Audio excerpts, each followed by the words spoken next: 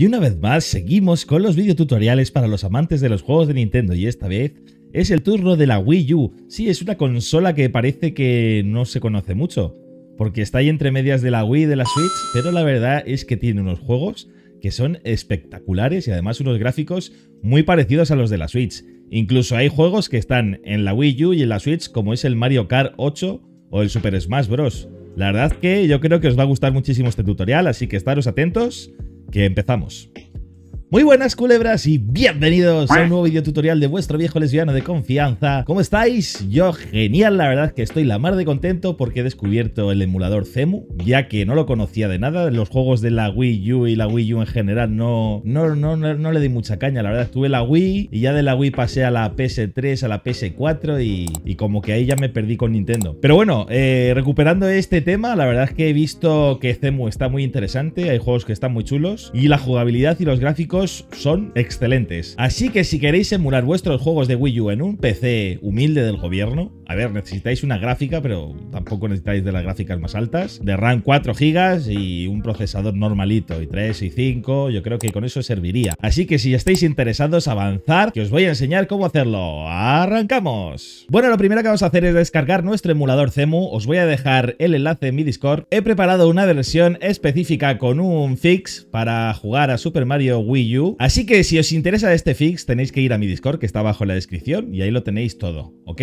Así que una vez hecho eso, bajamos el archivo de Cemu y le damos a extraer en Cemu con botón derecho en WinRAR. Esperamos a que se descomprima y avanzamos en el siguiente paso. Vale, ya lo tenemos descomprimido y ahora vamos a borrar el archivo RAR y vamos a entrar en nuestro emulador Cemu. Para ello hacemos doble clic y le damos a cemu.exe. Nos abrirá el programa, aquí hay unos juegos que tenía yo que los he cargado y vamos a repasar lo que son las opciones, ¿ok? Aquí, por ejemplo, en paquetes de gráficos, le dais a descargar los últimos paquetes gráficos de la comunidad y aquí podéis hacer cositas en cada juego. Podéis modificar los gráficos de cada juego, la resolución, las sombras, filtros anisotrópicos, es decir, podéis hacer mejoras gráficas en cada juego. Esto ya lo dejo de vuestra mano, vais un poquito jugando con eso y ya está. Luego, configuración general, aquí tenemos el idioma, yo le he puesto español, presencia en Discord, guardar captura de pantalla, buscar actualizaciones automáticamente, usar almacenamiento permanente y luego aquí en rutas de juegos, aquí le damos a agregar y podemos añadir todos los directorios donde se encuentren juegos nuestros para CEMU. Apartado de gráficos, seleccionamos Vulkan, tarjeta gráfica, la, el VSync desactivado, el shader compile asíncrono, importante porque si no es asíncrono es verdad que se nota que va como, da como tironcitos y de esta forma mejora mucho el rendimiento. Luego el resto de filtros lo dejamos como está, si queréis tocarlo ya a vuestro antojo. En audio tal y como está, superposición lo dejaría igual que está. En cuenta también y en depuración también. Estos serían las opciones generales.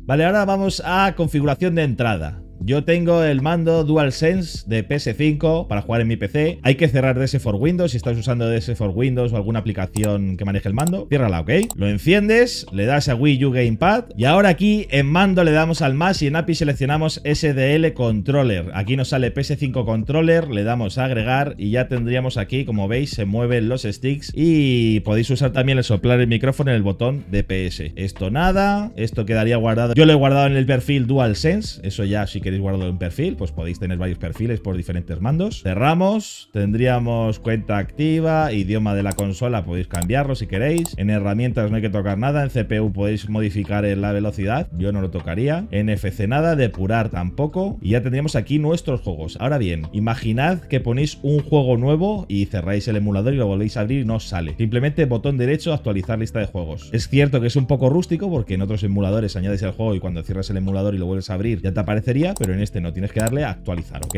Ahora bien, simplemente pues podéis jugar aquí a los juegos que tenéis haciendo doble clic. Vamos a hacer un ejemplo de prueba para que lo veáis. Por ejemplo, el Mario Tennis. Doble clic, veis que está cargando los pipelines de Vulkan. espera, esperamos un poquito y vemos si funciona el mando y el juego responde, ¿ok? Ahora bien, para ponerlo en pantalla completa podéis hacerlo aquí desde opciones pantalla completa o simplemente Alt más intro. Con el Alt más intro lo podéis hacer perfectamente. Vale, y aquí ya en el juego pues seleccionáis el modo, singles por ejemplo, voy a coger a Yoshi contra el fantasma, modo intermedio, aquí tal como va todo esto. Como veis el mando responde perfectamente, la verdad es que a la primera, una maravilla.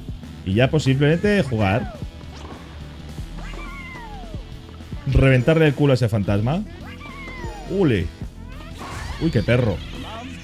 Uy, qué perro.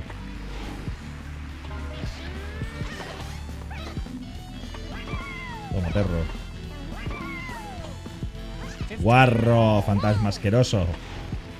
Bueno, ya habéis visto que funciona perfectamente el juego. Si le dais a escape, se cierra la pantalla completa y ya podéis volver al emulador. Un fallo gordo que sí le he visto a este emulador es que no tiene forma de detener el juego. Es decir, te tienes que salir del emulador para volver a jugar a otro. Como habéis visto, le damos a salir y le volvemos a dar a abrir. Ahora bien, os voy a enseñar cómo instalar los DLCs y las actualizaciones de los juegos, ¿vale?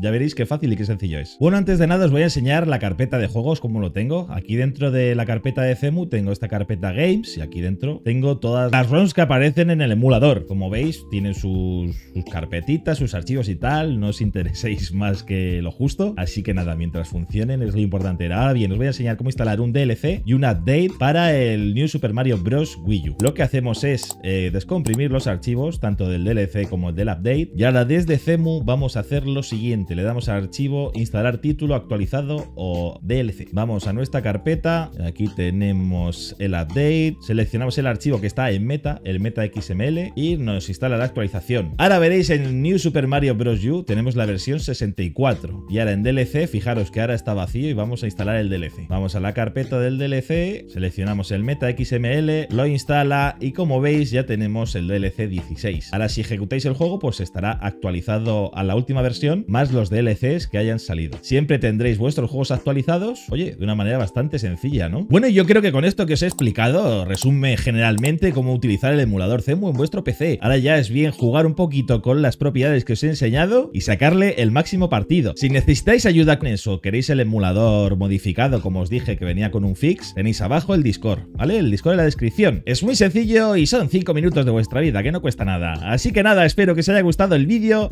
dejadme un like, comentadme qué os ha parecido, suscribiros y nos vemos en el próximo vídeo. ¡Hasta luego!